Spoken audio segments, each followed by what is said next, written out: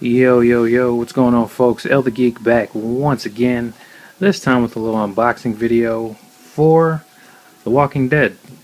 Uh, these two I have here, I'm going to do these separately.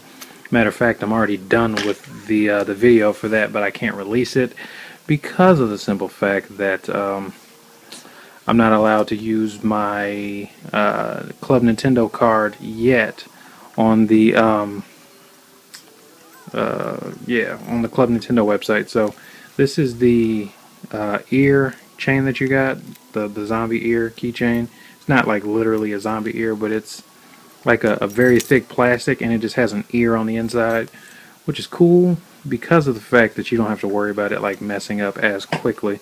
But anyways, let's go ahead and look at this. Here goes the case. Here goes the front, shall I say? Goes the back, as you can see.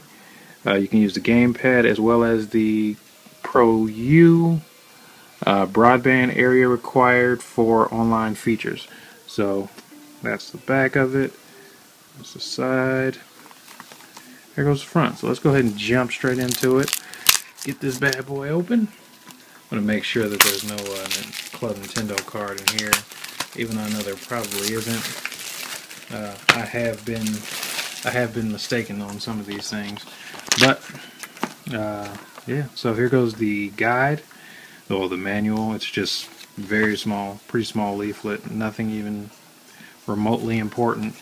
Um, and it even, hmm, the Dead Yourself app, that thing is pretty cool, if I do say so myself. Um, but yeah, so here goes the disc, AMC Studios, Terminal Reality, I believe that's what that says. I'm kind of blind.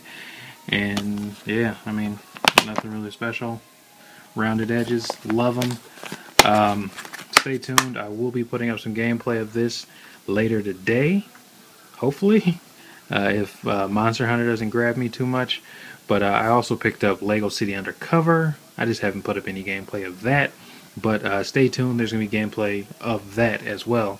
Um, right now, I'm kind of stuck in my Monster Hunter playing where I can only play on a 3DS because the transfer app isn't out.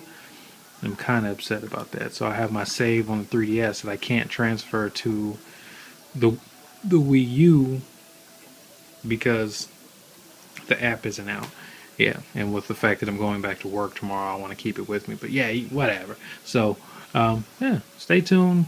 Thanks for watching, and uh, peace.